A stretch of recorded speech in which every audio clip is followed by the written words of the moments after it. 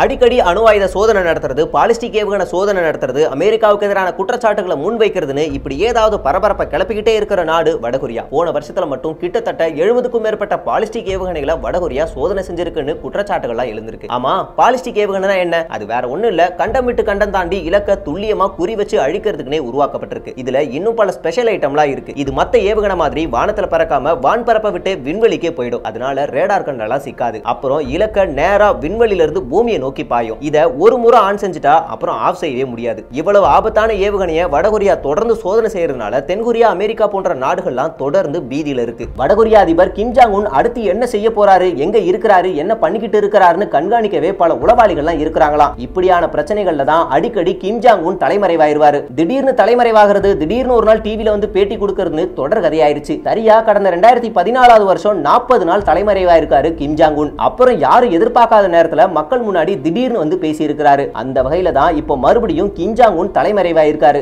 இன்னும் ஒரு சில நாட்கள்ல வடகொரியா தலைநகர்ல ஒரு பெரிய நிகழ்ச்சி நடக்க இருக்கு. இந்த சமயத்துல அவர் தலைமறைவாயிருக்கிறது பேசும் பொருளா இருக்கு இதை தென்கொரியாவில் இருக்கிற செய்தி ஊடகமான என்கே உறுதி செஞ்சிருக்கு. அது மட்டும் இல்லாம அணு ஆயுதங்களை உற்பத்தி செய்யறதுக்காகவும் சோதனைக்காகவும் தான் கிம்ஜாங் உன் தலைமறைவாயிருக்காருன்னு சொல்லப்படுது. அதே நேரத்துல ராணுவ அணிவகுப்புல புதிய அணு ஆயுதத்தை அறிமுகப்படுத்தி மக்கள் மத்தியில பேசுவார்னு சொல்லப்படுது.